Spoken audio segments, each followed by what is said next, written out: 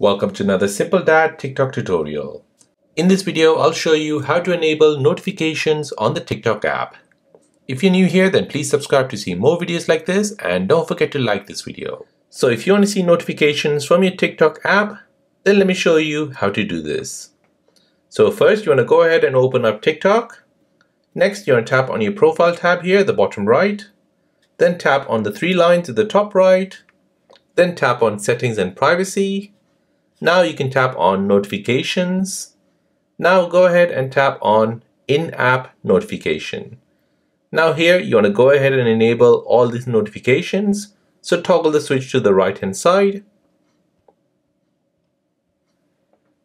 So now once you do this, you'll get in-app notifications for likes, comments, new followers, mention tags, and direct messages and live.